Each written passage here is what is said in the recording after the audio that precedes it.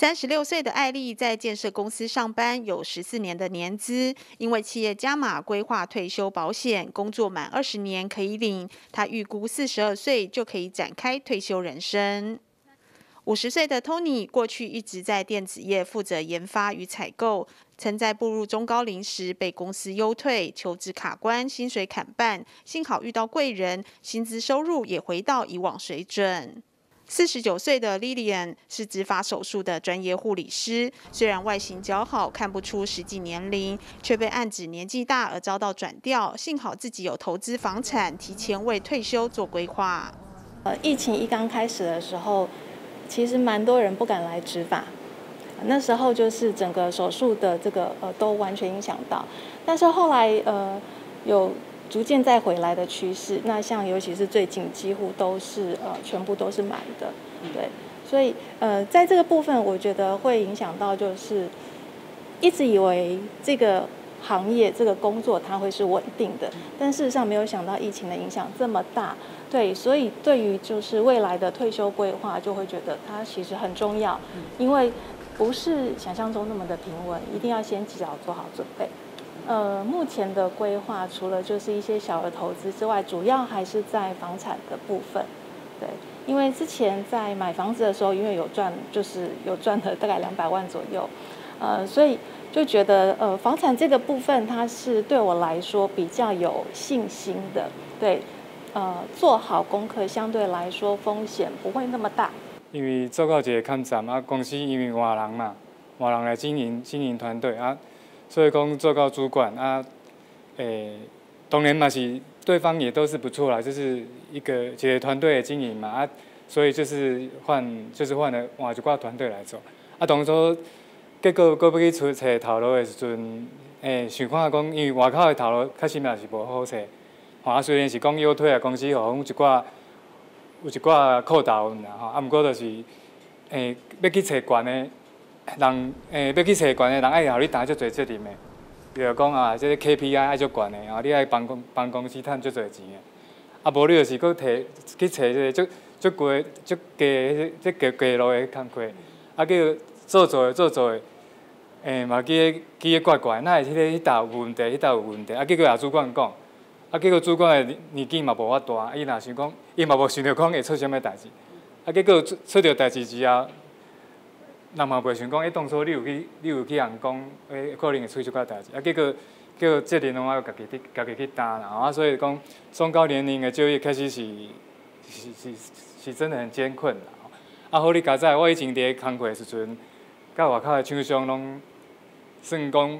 诶，不吃不喝。啊，毋过就是说就就正直的啦，啊，就是大家做朋友，啊，结果一个去经外去外外国的公司，就是因的总经理，啊，记得我应该是袂歹才对啦，啊，所以讲叫我讲来开拓即卖台湾市场，哎对，啊，即卖我就是伫台湾做一个业务代表，哦，啊，薪水就搁登到以前的迄个看站嘛啦，哎呀。哦，我觉得。第一是有遇到很好的公司，然后因为进了公司之后过了试用期呢，公司就有跟我们提说他会给我们投保一个所谓的退休险。嗯，我听的时候我就蛮心动的，因为我觉得哎，工作二十年我就有一个退休金。要一刚开始进去的时候可能只有三万多的薪水，但是他的呃退休的一个呃保险，它是以你最后五年的薪资去计算，也就是说我这五年我可能是领六万多，那我退休我就是可以领二十年的六万多的一个退休金。那所以其实我听到的时候我就很认真的去呃。做我这个工作里面该的内容，所以我就考了很多证照，包含像女生不会去考，像那种废弃物清理呀，然后还有像这种工地主任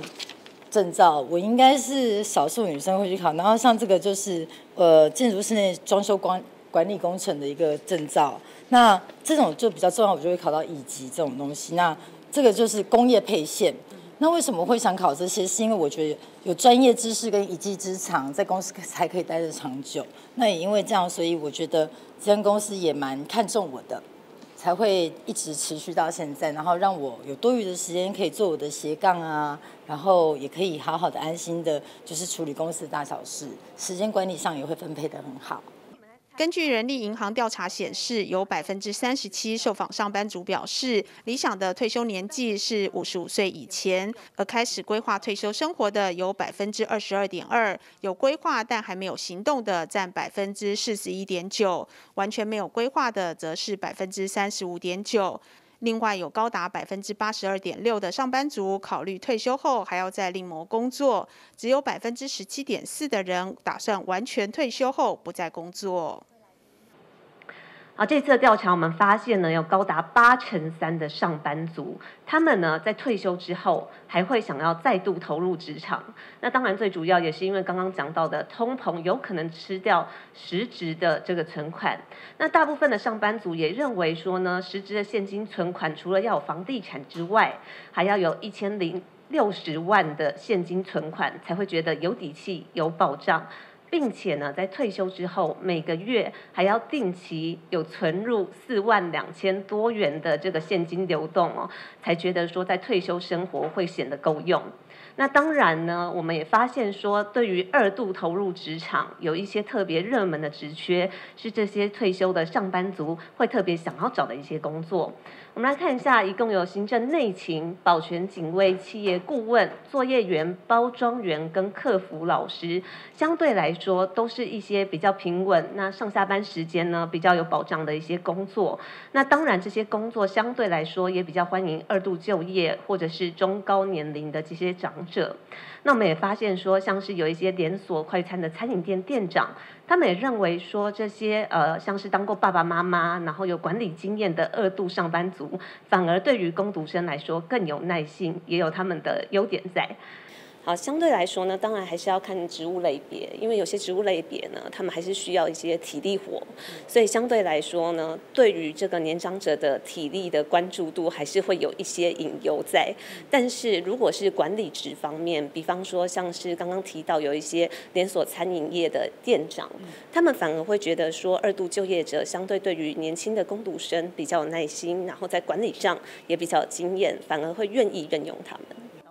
黄若薇表示，退休金不够用，已成为寿星阶级规划退休生涯的最大变数。上班族认为，退休以后至少月入四万两千六百三十四元才够生活所需，且由于通膨效应，不少人对退休后重返职场有了新思维。记者林希慧台北报道。